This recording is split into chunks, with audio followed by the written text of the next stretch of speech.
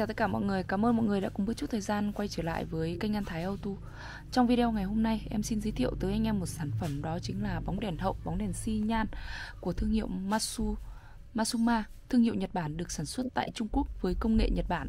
À, Mẫu ngày hôm nay em giới thiệu tới anh em là à, mẫu um, hai tóc 12V à, với cái thiết kế của à, cái bóng đèn này thì nó cũng không phải là xa lạ với anh em đã rất là phổ thông rồi. À, mẫu trên tay ngày hôm nay em đang cầm à, là, mẫu à, hai tóc anh em nhìn nhé đây tức là hai sợi này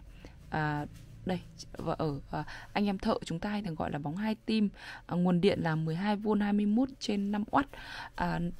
với cái mẫu tất cả các loại bóng đèn thì nó sẽ có 12V 24V à, Masuma là một thương hiệu rất là lớn tại Nhật Bản và uh, cho đến những năm 2019 đến nay là đã thành lập tại nhà máy Trung Quốc. Cái chất lượng của bóng đèn này thì anh em hoàn toàn có thể yên tâm này về chất lượng độ bền của sản phẩm.